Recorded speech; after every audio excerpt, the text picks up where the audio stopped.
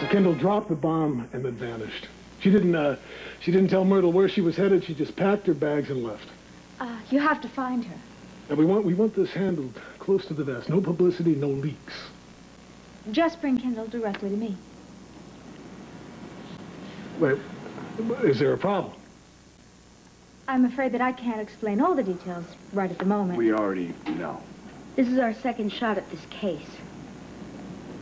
What? What are you talking about? N Nick hired us. Nick? What would Nick know? My mother.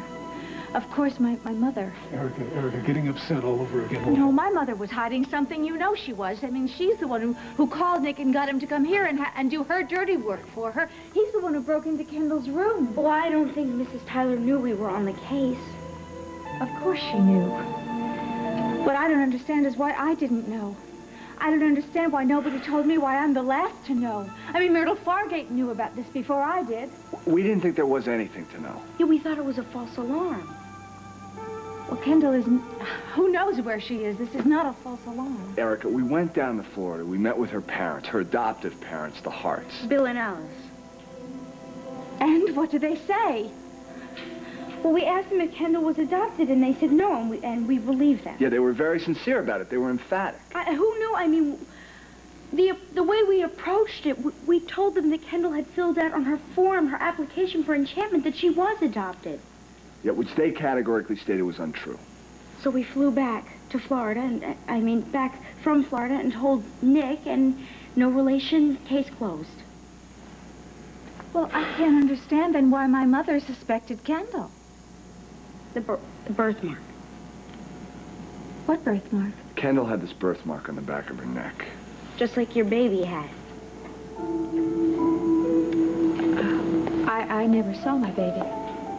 Erica, we're really sorry. Look, we didn't think there, there was anything going on here. If I had had one ounce of proof that Kendall was your daughter, Erica, I would have told you. Well, look, I don't want to hear this. I, I don't want to hear any more apologies. What good do apologies do now? Why couldn't someone have told me something in time? Instead of lying to me, everybody sneaked around behind my back for weeks. My mother, my, my friends, everyone except you, Dimitri. We're sorry. Well, this whole thing has been just totally mishandled, just botched from day one. Well, of course not anymore. No, no, Erica, don't. No, let me go. Dimitri, Erica, come on, leave no, me alone. you can't do this. Dimitri, I have to get Kendall back. I mean, leave me alone. No. Dimitri, I have to get my daughter back. Let me go, Dimitri. Let me find her. That's what Charlie and Hayley are for. Oh, they've done such a great job so far. Hayley and Charlie have done their best. We'll make it up to you, I promise. Darling, you can't do anything until she's located. How soon can you get started and what's your price? This one's on the house, and we can start right away. We guarantee results this time. Look, step one, we'll contact her adoptive parents in Florida. I'm sure she's headed back home. I, I have the number. Oh, let me call them. I can handle this. I can at least handle a phone call with the people who raised her. Anyhow, they're partly responsible because they told her who I was, but they didn't tell me that no, they told no, her. No, that's not right, Erica. Mr. and Mrs. Hart didn't say a word to Kendall.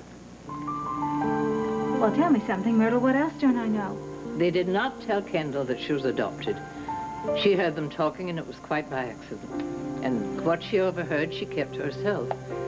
When she got older, she took matters into her own hand, did her own digging, and found your name on the adoption papers. She didn't tell her parents? Not a word.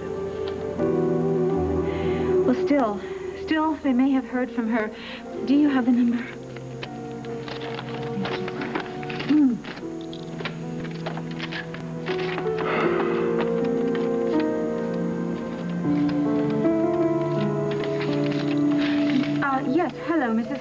Is Erica Kane, Kendall's employer.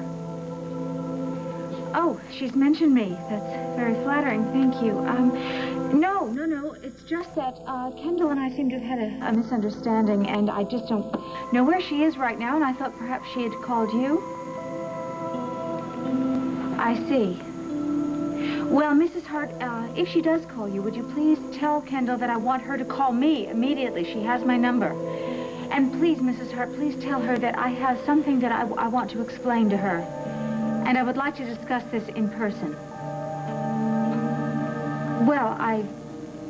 I don't want to lose your daughter. I think she's wonderful. She's been invaluable, truly. I... Yes, thank you very much. You too. Bye-bye.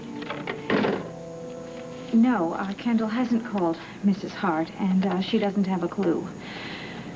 So what do we do now? Erica, uh, I checked her room, and the only thing I found there was, was this, this old doll that she, she loved.